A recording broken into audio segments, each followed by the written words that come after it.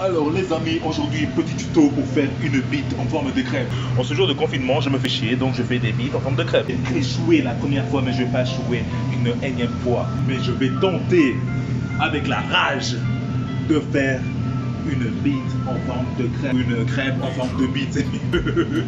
Bref, c'est parti.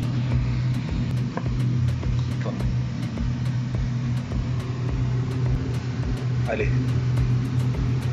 Allez.